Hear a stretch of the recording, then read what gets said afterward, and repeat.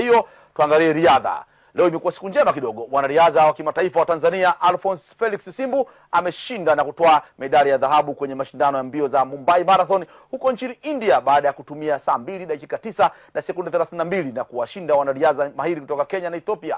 Joshua kiprokik kutoka kenya amemaliza katika nafasi ya pili baada ya ya eh, kutumia saa mbili dakika tisa na sekunde hamsini eh, na mshindi wa tatu eliud bagnetun pia kutoka kenya alitumia saa mbili dakika kumi na sekunde sitini na mbili. Simbo amewata- amewatambia wa, wa kenya saba na waethiopia wawili katika kumi bora ya mashindano hayo. Naye mwanariadha mwingine wa tanzania mwanadada magdalena crispin ameshinda nafasi ya nne kwenye mashindano ya, ya eritrea marathon. Hivyo kwa ushindi huo simbu na magdalena wote wamefuzu kushiriki mashindano ya riadha ya dunia yatakayofanyika london uingereza mwezi agasti mwaka huu. Hongera sana felix simbu na magdalena. Ikumbukwe felix simbu mwaka jana e, katika mashindano ya olympic alishika nafasi ya tano katika mbio ndefu yani marathon. Hongera sana